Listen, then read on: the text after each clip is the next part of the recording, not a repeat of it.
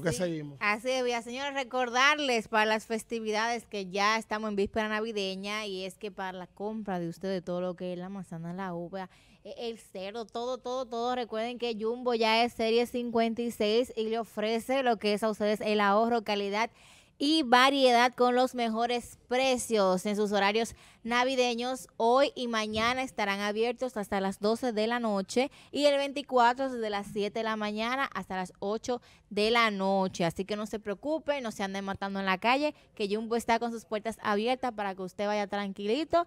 Después del trabajo, la nochecita estará abierto, usted vaya a coger su carrito y aproveche todas las ofertas y ese gran ahorro que le ofrece Jumbo.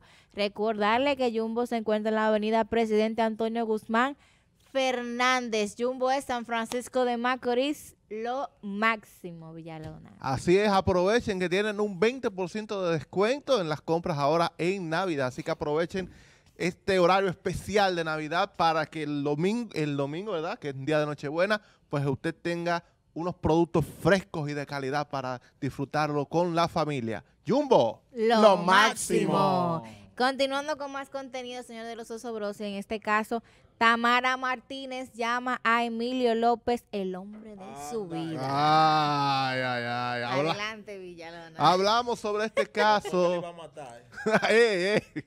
de Tamara Martínez, quien, pues, la comunicadora aseguró que su pareja, el abogado Emilio López, que ahora mismo se encuentra todavía bajo arresto domiciliario por, por violencia doméstica, nunca la ha golpeado y dijo que es el hombre de su vida y no es yo de veras. Vamos a verlo.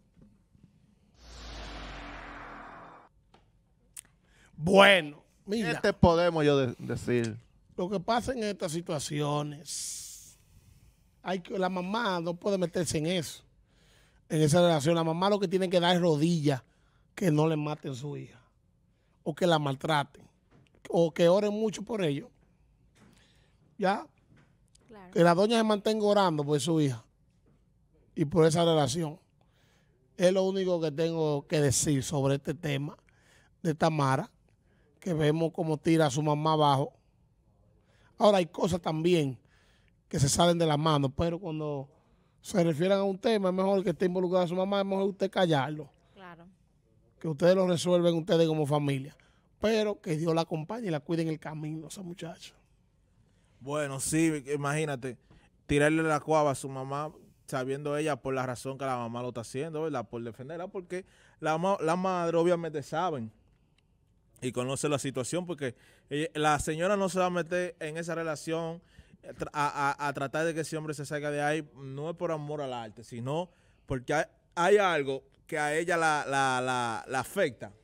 Eh, sabiendo que su hija está con una persona, con un abusador que la maltrata y obviamente ella como madre quiere buscar la manera de que su hija despierte y abra los ojos porque al parecer esta mujer eh, está hipnotizada. El hombre está preso, está cumpliendo, está cumpliendo ¿verdad, Villalona? Eh, obviamente por lo que pasó con ella, que casi la mata, hay videos de prueba donde la amenazan y de todo. Y ella tiene la, tiene la, cachaza de salir en una entrevista con Jessica a, a, echarle, a tirarle la cuava de todo eso a su mamá. ¿Entiendes? Son cosas que Dios ataca castiga por eso. Cuando Dios sabe que la que realmente está mal eres tú. Cuando eh, eh, eh, sabe que tu mamá lo que te ha querido es ayudar, sacarte de esa relación tóxica para que no te maten. Pero como dicen estos flows, el que por su gusto muere, la muerte, de sabia gloria. No, y tú sabes que son personas, como dicen Neto, son mujeres ya grandes, que no hay que explicarle tanto la cosa.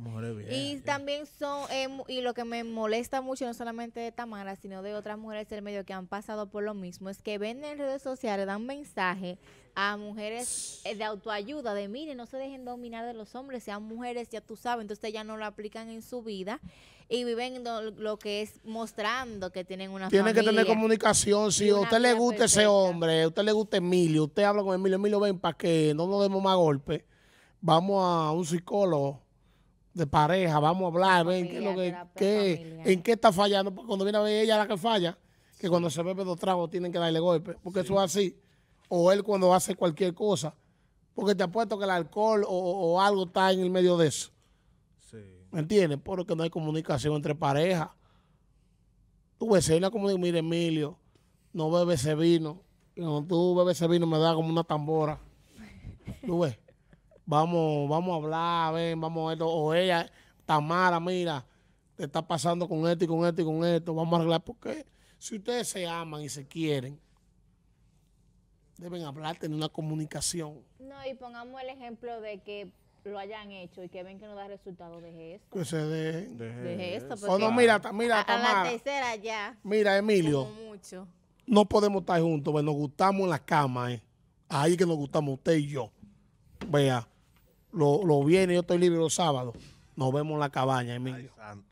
Claro, ahí es que, ahí que nos gustamos los dos. Claro, Villalona. No. Niño. ¿Tú entiendes? Porque es que la va a matar o, o ella le va a dar un mal golpe a él porque es media libra, me- medio cuerpo. Emilio es chiquitito. eh.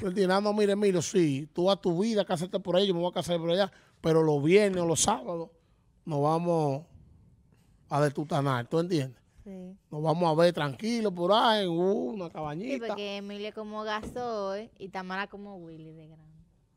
Gasoy no vale medio peso. El pobre gasoil. ¿eh? Di, Villalona. Bueno, señores.